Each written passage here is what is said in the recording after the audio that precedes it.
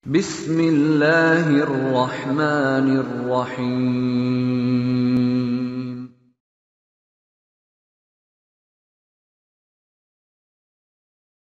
بسم الله الرحمن الرحيم. السلام عليكم ورحمة الله وبركاته. إن الحمد لله نحمده ونستعينه ونستغفره ونعوذ بالله من شرور أنفسنا ومن سيئات أعمالنا. من يهده الله فلا مضل له ومن يضلل فلا هادي له. أشهد أن لا إله إلا الله وحده لا شريك له وأشهد أن محمدا عبده ورسوله الذي لا نبي بعده.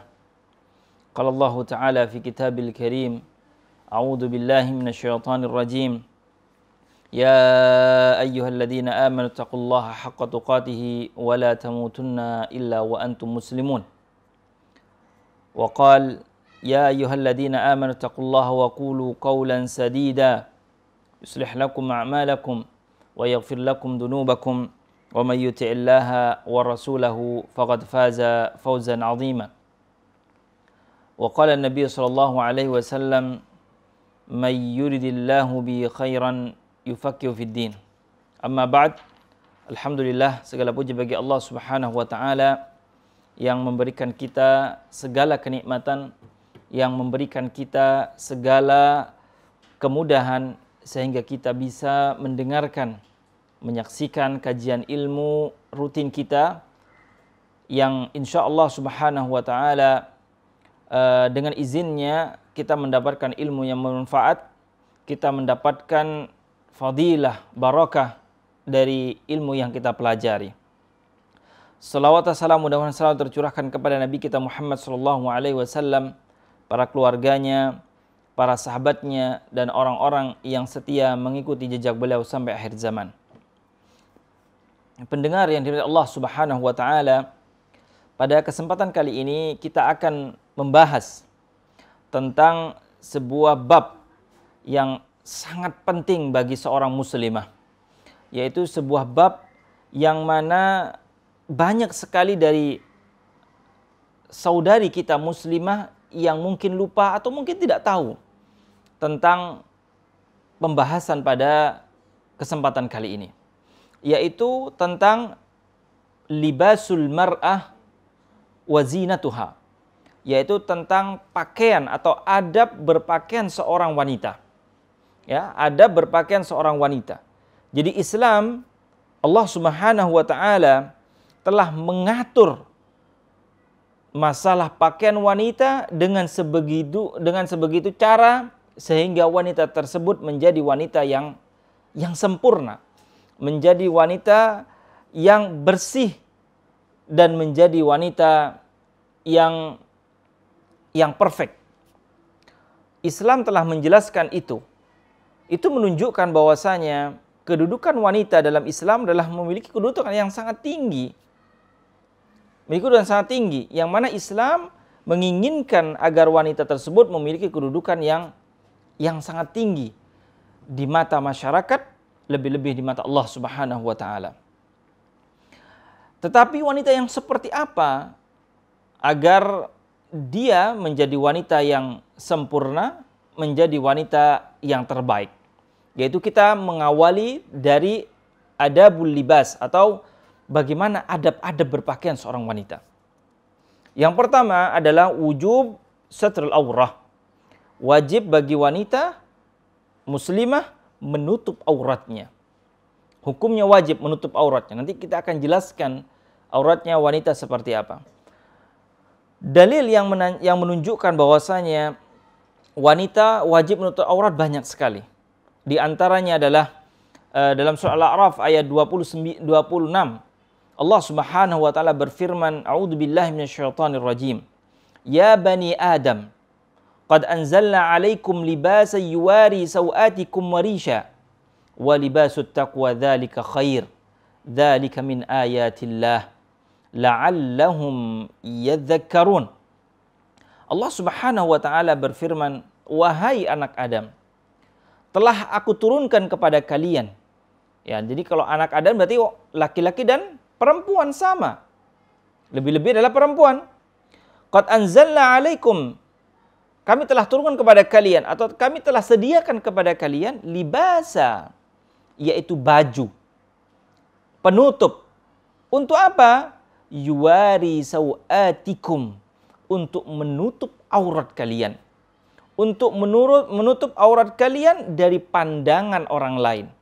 Warisha dan juga apa sebagai perhiasan Allah Subhanahu wa taala telah menyediakan tentang uh, baju. Allah Subhanahu wa taala telah menjelaskan bagaimana seorang muslim dan muslimah menutup auratnya adalah hukumnya wajib. Menutup auratnya hukumnya wajib. Kemudian Allah Subhanahu wa taala melanjutkan walibasu taqwa dzalika khair. Adapun perhiasan atau uh, pakaian pakaian takwa itu adalah yang terbaik. Artinya bagaimana seorang muslim dan muslimah tersebut ketika dia telah menutup auratnya, dia juga harus menjaga ketakwaan dia kepada Allah Subhanahu wa taala. Jangan sampai menjadi muslimah, jangan sampai menjadi muslim dia auratnya sempurna. Oke, auratnya sudah uh, sesuai dengan syar'i. Menutup dan juga menjaga auratnya, tapi apa ketakwaan dia kepada Allah Subhanahu wa taala tidak ada. Mungkin dia apa suka ghibah contohnya. Kemudian dia suka berbohong. Kemudian dia suka mengadu domba dan sebagainya yang menunjukkan bukan termasuk norma-norma Islam. Pakaiannya oke sudah menutup aurat tetapi kelakuannya tidak menunjukkan sebagaimana orang yang bertakwa. Walibasut taqwa dzalika khair. Pakaian ketakwaan itu lebih lebih baik dan lebih baik lagi apabila dia menutup auratnya dan menjaga akhlak serta ketakwaan dia kepada Allah Subhanahu wa taala. Dzalika min ayatillahi la'allahum yadhakkarun. Itulah termasuk tanda-tanda Allah Subhanahu wa taala, tanda-tanda kebesaran Allah Subhanahu wa taala bagi mereka agar mereka menjadi orang yang mau berfikir. Pendengar yang tiba Allah Subhanahu wa taala, Rasulullah sallallahu alaihi wasallam wasu'ilan nabi anal aurat. Ini dalil dari dari as-sunnah dari hadis tentang wajibnya menutup aurat. Laki-laki dan perempuan juga sama. Lebih-lebih perempuan. Kata Nabi SAW, Nabi pernah ditanya tentang aurat. Fakal, Nabi SAW menjawab, Ihfaz auratak illa min zawjika aw ma malakat yaminuk. Kata Nabi SAW, jagalah auratmu. Ya, jagalah auratmu atau tutupilah auratmu illa min zaujik. Kecuali kepada istri atau kepada suami. Kepada istri dan suami maka tidak maka tidak mengapa. Dia menampakkan auratnya atau kepada muh, eh, kepada mahramnya maka tidak mengapa. Yang dijelaskan dalam Al-Qur'an kepada siapa saja kita boleh atau perempuan boleh menampakkan auratnya kepada siapa saja itu Al-Qur'an sudah menjelaskan. Di antaranya adalah kepada suami atau kepada istri. Auma malakat yaminuk atau kepada budak. Ya dulu bagi yang memiliki budak kalau sekarang sudah tidak ada.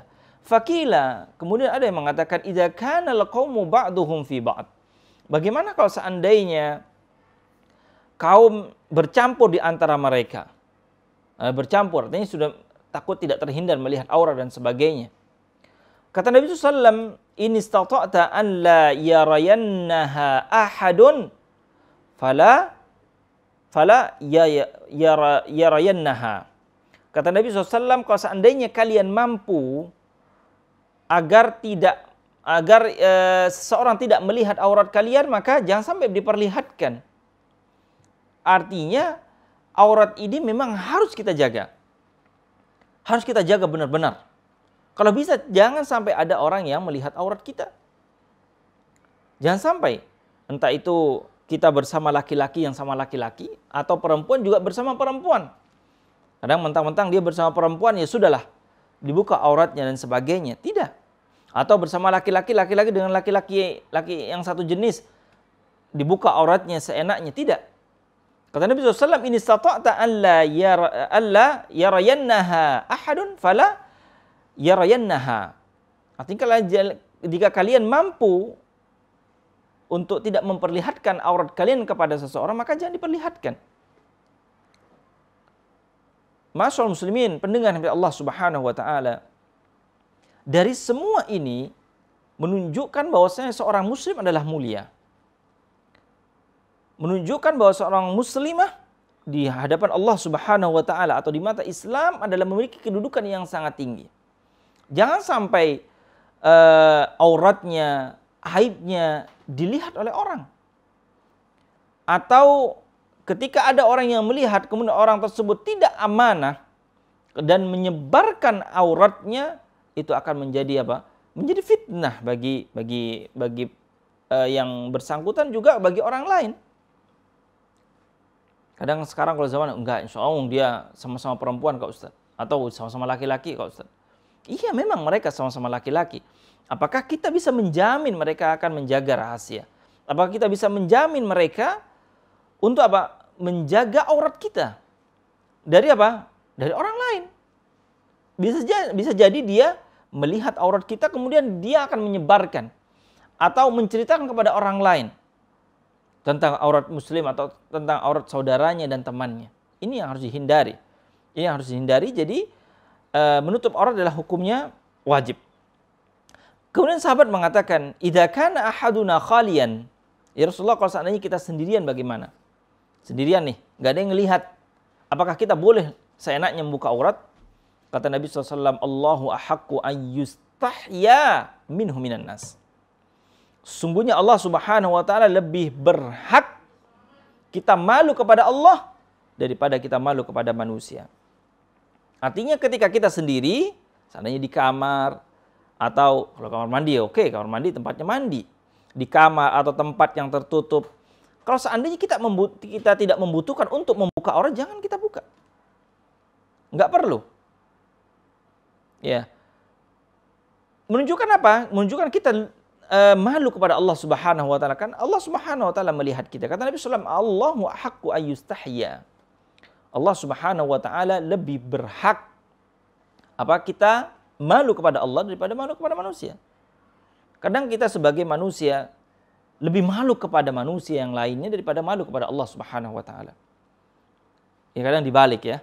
Kita lebih malu kepada manusia daripada malu kepada Allah Subhanahu wa taala. Kemudian yang berikutnya adalah libasul mar'ah amamal ajanib. Bagaimana pakaian perempuan di depan ajanib ya, di depan orang asing. Ya, di depan orang asing, entah itu mungkin eh, laki-laki atau mungkin yang lainnya, di amal ajanib orang asing. Yang pertama adalah an-nahyu anit tabarruj wal wa'idu alaihi. An-nahyu larangan ya, larangan bertabarruj yaitu apa? berhias, menampakkan uh, hiasan kepada orang lain. Ya, kepada orang lain atau kepada ajanib, kepada laki-laki yang bukan mahramnya. Wal wa'idu alaihi dan ancaman bagi bagi perempuan tersebut. At-tabarruj, apa pengertian tabarruj? At-tabarruj huwa an tubdiya al mar'atu zinataha wa mahasinaha wa ma yajibu wa ma yajibu an tasturahu mimma mimma tustada'a bihi syahwatur rijal. Yaitu tabarruj artinya dia menampakkan perhiasan menampakkan yang indah-indah yang terdapat pada dirinya pada tubuhnya yang mana perhiasan tersebut seharusnya wajib dia tutupi, dengan perhiasan tersebut akan mengundang syahwat laki-laki. Itu adalah namanya tabarruj. Suatu hal yang terlihat indah sehingga lelaki melihatnya akan terpancing syahwatnya itu namanya tabarruj. Itu yang dilarang. Entah perhiasannya perempuan tersebut entah dari bajunya, Entah perhiasannya mungkin perhiasan yang lain. Yang mengundang syahwat laki-laki, maka itu yang dilarang oleh agama. Maka itu yang yang dilarang. Berikut beberapa fasilitas yang ada di Al Wildan International Islamic School, satu Gading Serpong. Gedung Bidar atau Madinah, gedung ini memiliki empat lantai. Gedung ini diperuntukkan untuk unit SMP, SMA full day, dan boarding. Seluruh ruangan kelas dilengkapi dengan papan mading kelas, AC, smart TV, serta meja dan bangku yang sangat representatif. Ruang lab komputer dan lab bahasa yang membuat siswa semangat menguasai teknologi dan bahasa asing. Al-Wildan mengutamakan Al-Quran dalam segala aspek dan Alhamdulillah banyak siswa Al-Wildan yang telah hafiz Al-Quran. Saat ini Al-Wildan memiliki empat cabang yang tersebar di Jakarta, Tangerang, Bekasi, yang muridnya sebanyak 5.000 siswa, dan insya Allah di tahun 2022 nanti akan dibuka 12 cabang di beberapa kota besar di Indonesia. Semoga Allah memudahkan anak-anak kita dalam menghafal Al-Quranul Karim. Amin. Ya Rabbal Alamin. Qala ta'ala, Allah subhanahu wa ta'ala berfirman ya dalam surat Al-Ahzab, ya, waqarna fi buyutikunna. Ya, surat Al-Ahzab Allah Subhanahu wa taala berfirman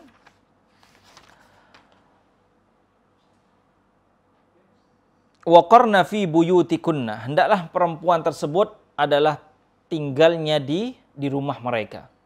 Ya, kalau seandainya tidak ada keperluan ya keperluan yang mendesak keperluan syar'i maka juga perlu dia keluar dari rumahnya. Ini yang mengatakan siapa Al-Qur'an. Kalau seandainya ada perempuan dia memiliki kebutuhan maka tidak mengapa dia keluar dari rumahnya. Tapi sekedar dengan kebutuhan tersebut. Ya, sekedar dengan kebutuhan tersebut artinya kebutuhan syar'i. Seperti dia membeli kebutuhan, seperti dia me, e, bekerja yang sesuai dengan syar'i atau seperti dia e, pergi beribadah dan sebagainya. Maka apa? Maka tidak mengapa. Selain selain itu adalah dia tinggal adalah di, ru, di rumah. Ya. Artinya tempat tinggal perempuan itu di rumah itu menunjukkan bahwasanya rumah mereka yaitu perempuan tersebut adalah afdal bagi mereka perempuan tersebut. Afdal dan lebih lebih baik daripada tempat lainnya. Kemudian kata Allah Subhanahu wa taala, "Wala tabarrajna tabarrujal jahiliyatil ula." Dan janganlah kalian berhias atau bertingkah laku ya berhias atau bertingkah laku menampakkan perhiasan perhiasannya tabarrujal jahiliyatil ula. Seperti apa? Seperti mereka perempuan jahiliyah itu menampakkan perhiasannya kepada orang lain. Ini sudah jelas larangan dari Allah Subhanahu wa taala bahwasanya tidak boleh seorang perempuan menampakkan perhiasan kepada ajanib, kepada laki-laki yang bukan mahramnya. Kalau seandainya kepada is, e, suami maka tidak apa-apa, maka berpahala dia menampakkan perhiasannya di depan suaminya. Tidak mengapa, maka itu ber, eh, apa namanya bernilai sebagai sebagai pahala bahkan dianjurkan dia berhias di depan suaminya. Kalau seandainya dia berhias di depan laki-laki lain maka maka tidak boleh. Kemudian di hadis Nabi Shallallahu Alaihi Wasallam ya hadis uh, Muslim Imam Ahmad dan hadisnya adalah sanadnya Hasan. Ja'at Umaymah bintu Ruqayyah Ruqaiqah sebenarnya, bukan Ruqayyah, afan. Ruqaiqah uh, ila Rasulullah sallallahu alaihi wasallam.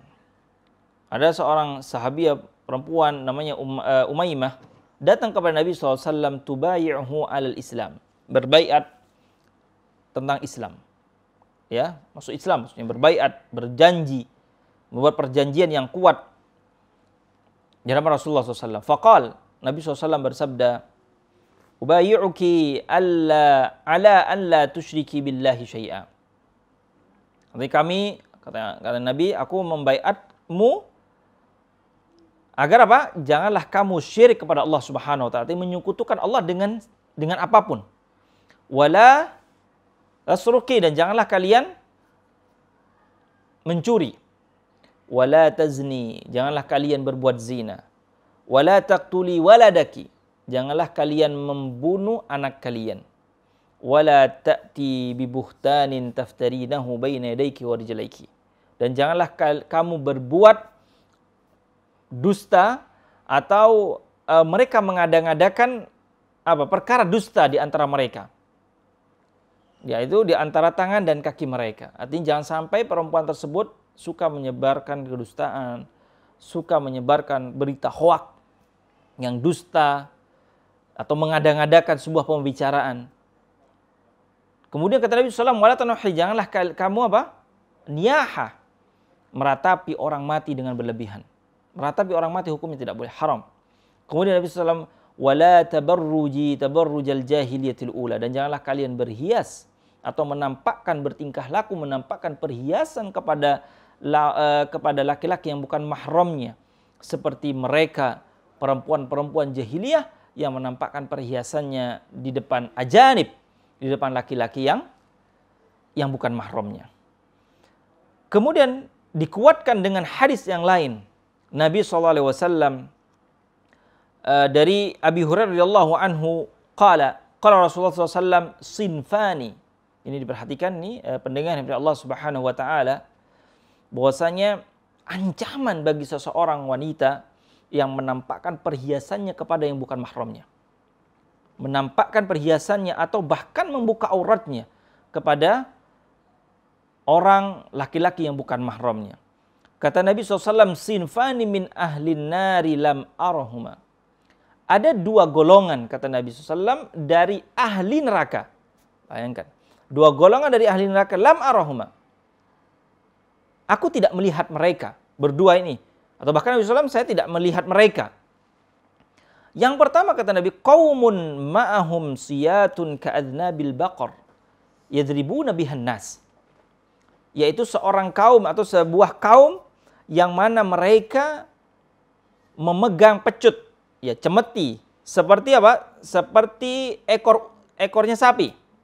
Yadribuna bihan nas. Dia memukul manusia. Ini menunjukkan bahwasanya apa?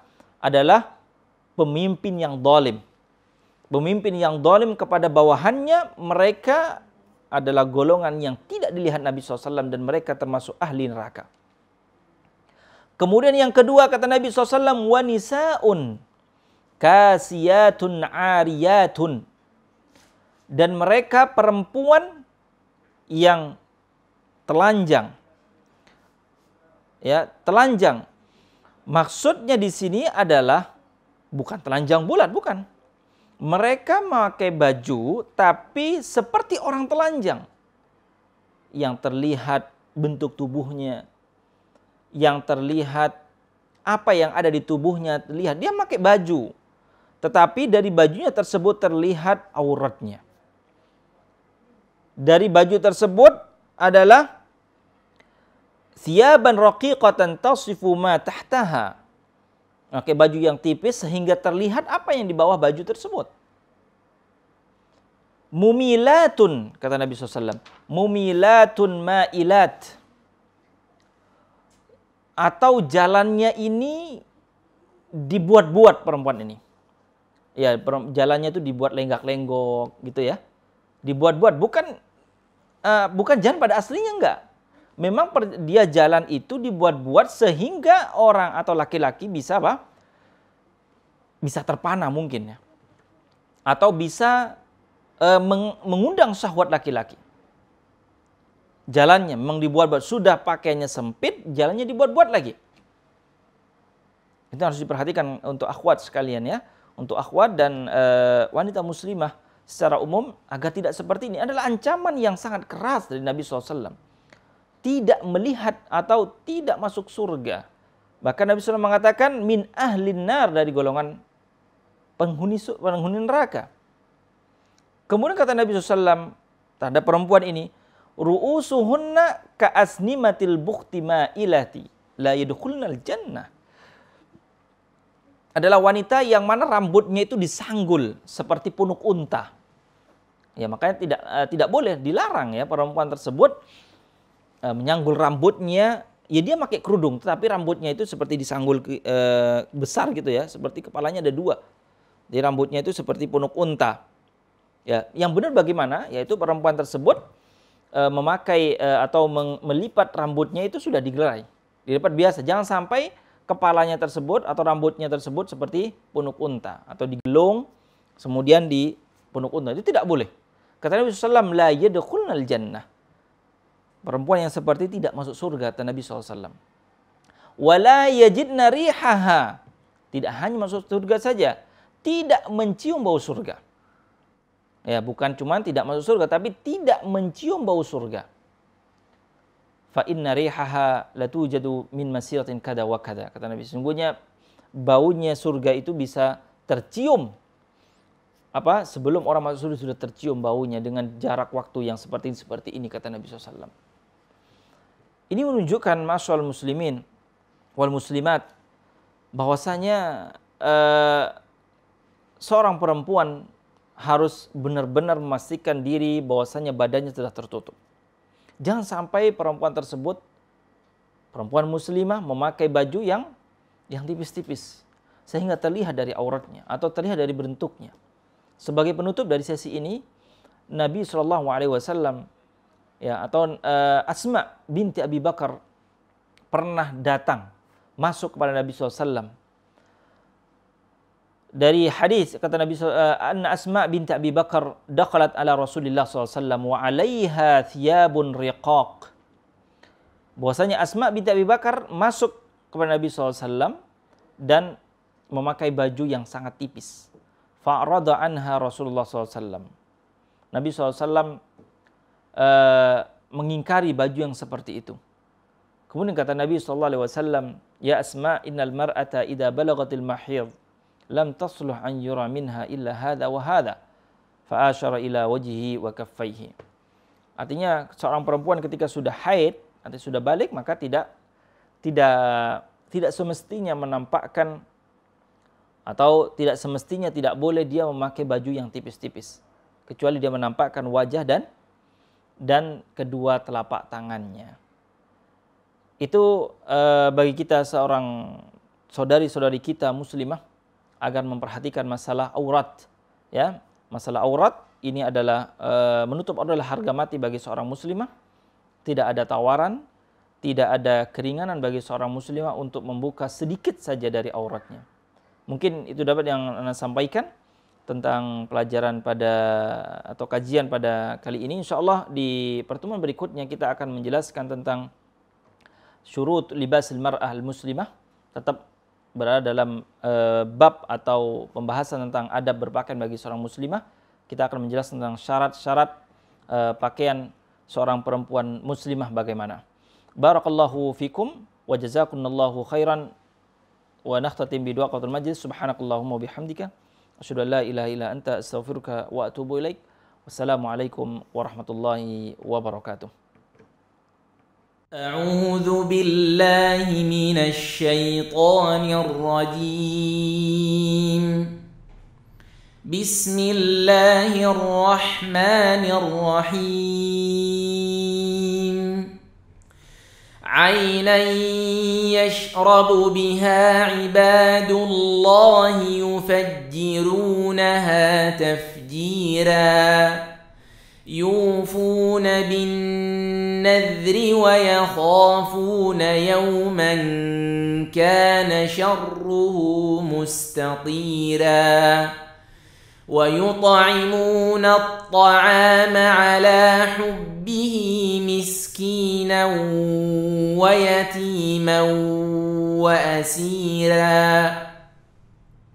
ويطعمون الطعام على حبه مسكينا ويتيما وأسيرا. إنما نطعمكم لوجه الله. لا نريد منكم جزاء ولا شكورا.